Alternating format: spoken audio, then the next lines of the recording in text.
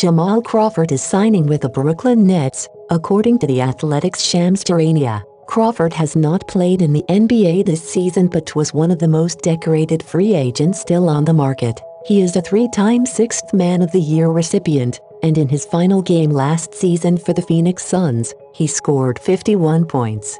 As Vince Carter's Atlanta Hawks did not make it into the bubble, Crawford, at 40 years old, is now the oldest remaining player in the NBA, beating out Udonis Haslem of the Miami Heat by three months. He averaged 7.9 points per game for the Suns last season in a limited role. He has always been a strong scorer, but as he has aged, the rest of his game has declined.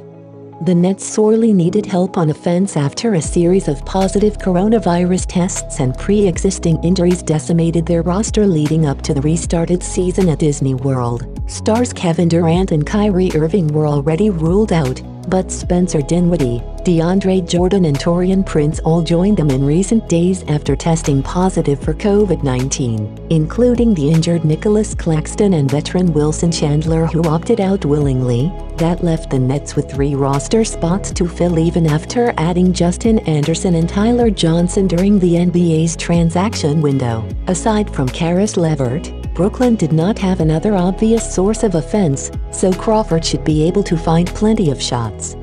The Nets currently lead the Washington Wizards for the number 8 seed in the Eastern Conference by 6 games. However, the NBA's new play-in format dictates that if the Wizards get within 4 games, they will have the opportunity to play the Nets for their spot. If they beat them twice in a row, the Wizards would get in. The Wizards have a number of absences of their own to contend with, though, as their three best players, Bradley Beal, Davis Bertans and John Wall, will all sit out at Disney. Based on that alone, the Nets should have a serious advantage in retaining their playoff spot.